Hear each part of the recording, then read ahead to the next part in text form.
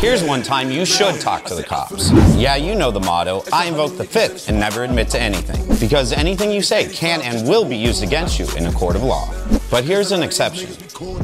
After a car accident, the cops can be your friend. That's because a detailed accident report may help you win in court.